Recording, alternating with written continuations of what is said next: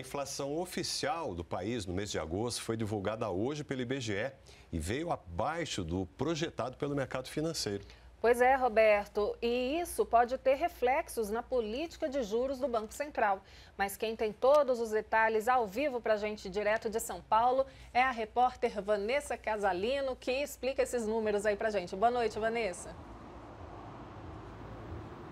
Oi, Ana, boa noite para você, para o Roberto, para todo mundo que está com a gente. Exatamente, o IPCA, ele até cresceu, veio em 0,23% em agosto, mas uma alta menor do que a esperada. Essa alta foi puxada pelos preços da energia elétrica. É que um desconto que vinha deixando a conta de luz mais barata chegou ao fim, o chamado bônus Itaipu.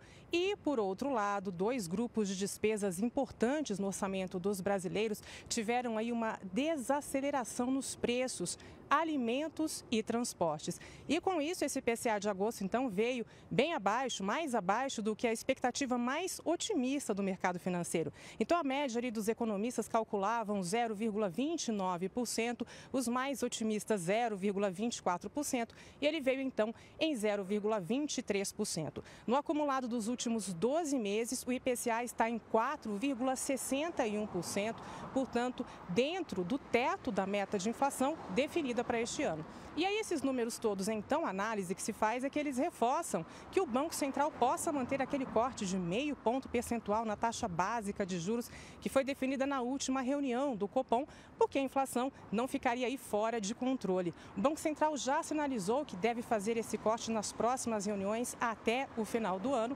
E aí já tem analistas, já tem economistas sinalizando que esse corte poderia ser até mais ousado, 0,75 pontos percentuais. Isso porque a análise que se faz também é que uma taxa de juros mais, baixas, mais baixa incentiva o consumo e também o investimento no setor produtivo da economia. Com isso, gera-se mais emprego, mais renda e aí a economia cresce, mais consumo e esse ciclo, esse ciclo então positivo vai se construindo. Ana e Roberto. Tá ótimo. Muito obrigado pelas boas notícias, que elas continuem vindo aí, Vanessa. Uma boa noite para você.